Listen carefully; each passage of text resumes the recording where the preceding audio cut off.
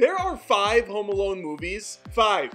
Two John Hughes classics, one John Hughes shitfest, and two straight to TV hellscapes. I'm only interested in the theatrical releases, so it's Home Alone 1 versus 2 versus 3 on Movie Feuds.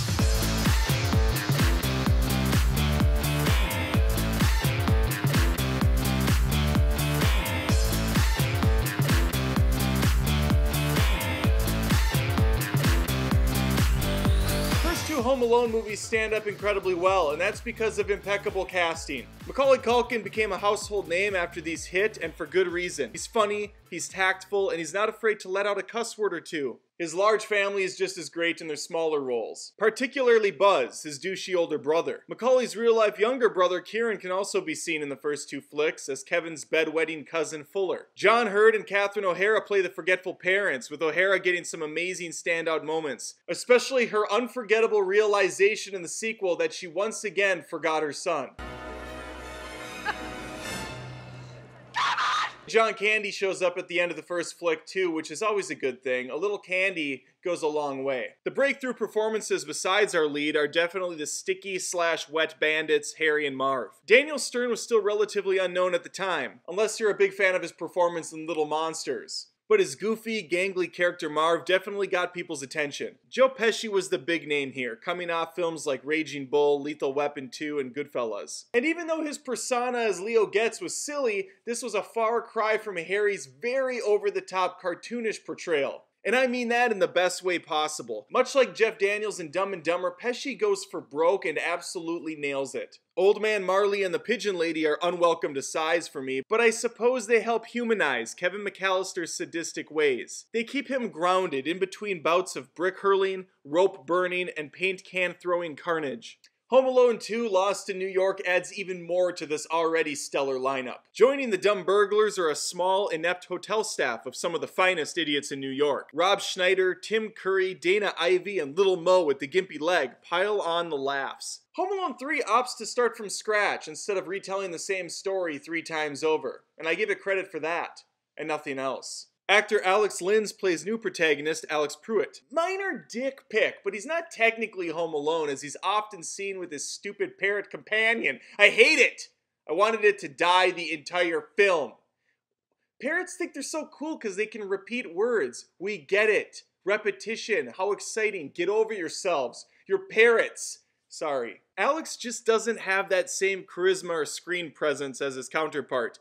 He's missing the Bart Simpson esque bad boy quality. Instead, he opts to spend most of his free time spying on the elderly neighbor, Mrs. Hess. Alex's family is just as unremarkable as he is, so hopefully the villains bring the laughs, right? Wrong! Writer John Hughes doubled the villain count to four, but as superhero movies have shown us, less usually means more and not the other way around. That rings very true here, as these spies aren't even in the same league as the bandits. The only positive I can take away from this Fant four stick group is that the female villain looks damn fine in her white jumpsuit. Much like Kevin McCallister's macaroni and cheese, Alice Ribbons is an unspoiled, delicious dish. I would make sure to savor to the very last bite. How do you let that macaroni and cheese just sit there? Who else is in Home Alone 3 worth mentioning even? I can't, I'm, I'm racking my brain trying to figure it out. Oh yeah, fiery hot Scarlett Johansson? Sorry, never mind. She's like 13 in this. No one has any interest in that outside of Roy Moore. Topical. Happy holidays.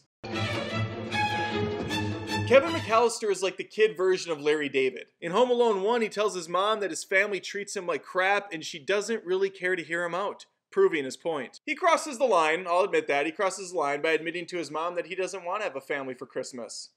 He gets exactly that the very next morning. Family accidentally sleeps in and have to scramble to make their flight as the mother desperately tries to find a way back home to her son after realizing she abandoned him. Kevin is dealing with his own snafu back in Chicago. A duo of small-time crooks, self-titled the Wet Bandits, have targeted his home to rob. This premise leads itself to a lot of fun gags and hijinks, such as setting up a fake family party, grocery shopping and shaving for the first time, indoor sledding, and of course the final showdown between Big Kev Dog and his assailants. Home Alone 2 is the Force Awakens of family comedies. It's almost the exact same movie with its own little twist and additions. And much like the Force Awakens, I love it. Yeah. The template is perfect, so rather than change it up this time, it acknowledges what works and dives headfirst with oversized shorts on. The beats are identical. The family sleeps in, again. The family loses Kevin again. Granted, this time he at least makes it to the airport before going to a different state entirely. I didn't check time codes on the films, but I wouldn't be surprised if they lined up within minutes of each other in terms of these beats. The sequel even filmed another fake black and white movie for Kevin to quote and use on an unsuspecting guest. The silhouettes come back into play too. This time it's a giant novelty blow up clown dancing to the Go Go's hit song Cool Jerk, performed by Kevin's cheapskate uncle via pre recorded Talk Boy playback. That was a very tough sentence to get through, but I want you to really appreciate the nuance in this scene and everything that really went into making it funny. There's layers there.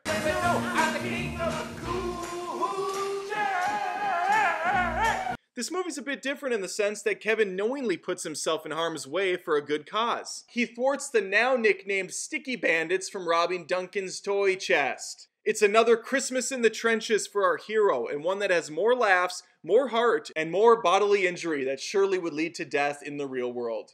Home Alone 3 is the Phantom Menace of family comedies, although I suppose it could be argued that Phantom Menace is also a family comedy. I, I, digress. 3 has nothing to do with the movies before it, and I prefer to not consider it part of the series. The plot is a bit more convoluted this time around. The spies misplace a computer chip that was packaged in with the remote control car to smuggle past customs. Their employer is rightfully pissed about the botched job they did. The item in question was accidentally delivered to the neighbor Gilf Alex is currently into, and eventually eventually it will become his possession, as she will gift it to him.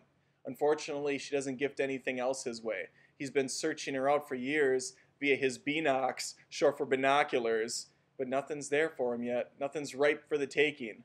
Well, I mean, she's ripe, but I got Home Alone 2 uses the talk boy a bit too much, but it pales in comparison to the amount of screen time that damn remote control car got. Much like Kevin, Alex takes matters into his own hands when he catches wind of the spy's actions. It's somehow less plausible, though, as Alex isn't actually left in another state. His family just stepped out for a few hours while he was left home with the chicken pox. The story is pretty inconsequential, though. It's got the pieces in place, it's just very bland, and the characters are uninspired.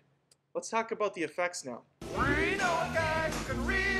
first two films were well produced, well directed, and just all around well made. John Williams composed the instantly recognizable theme song, and both were directed by Harry Potter's first director, Christopher Columbus. The drop in quality is noticeable across the board when the Scooby Doo director takes the helm for the third flick. It feels like a poor knockoff version made by less talented individuals. That said, it's not a complete and total disaster. A younger audience, like 4 or 5, will still find plenty to enjoy, and some of the slapstick occasionally lands a few chuckles. There are a couple inventive traps mixed in with the mediocrity, such as the snow covered tar or the frozen pool trampoline. The punchlines just don't hit hard, and that's truly where this movie stumbles the most. The first two movies build up the jokes and then unabashedly reuse them for an even greater effect. Seeing our bumbling burglars tapping doorknobs quickly for fear of being being set to flame. Watching them maniacally laugh when they think they have the upper hand, only to be bested with a twist on the formula. Conversing about an odd setting before realizing the cold, harsh truth of the situation. These moments all compound into hilarious situations. Christopher Columbus puts a warm glow on these films, too. It has a Christmas feel to it. There's a magic there that's missing in the Raja Gosnell's movie. Home Alone 3 is a real trout sniffer, if you ask me. There are two official Home Alone movies in my book. Everything after pales in comparison. They're imposters. They're liars. They don't exist. And the audience appear to be on my side, as the third installment only generated $79 million compared to the sequel, which brought in 359 million. The first being even higher at 476. Now I know numbers don't mean anything. The Transformers films continue to somehow do really well, and those movies are total ass. Nevertheless, I have a point here somehow. I am curious to know what you think, too. Did I unjustifiably shit all over your beloved third, or are you right there with me? So leave a comment, vote for your winner, and remember, this is more than just reviews. This is Movie Feuds. If you've been with me for a long time, or if you've gone through the catalog recently, you will know I've already done Home Alone 1 versus 2, leaving 3 off for obvious reasons. Uh, but but I, I felt like I could do a better job, which is why I redid the episode. I was very young and it was in its infantile state still, trying to find its way on YouTube. Um, I think I'm at a better place where I can kind of look back at that catalog and redo some that are just poor quality or don't live up to the standards I want them to.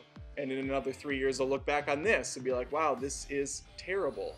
But for now, I, I feel like things are good. So enjoy.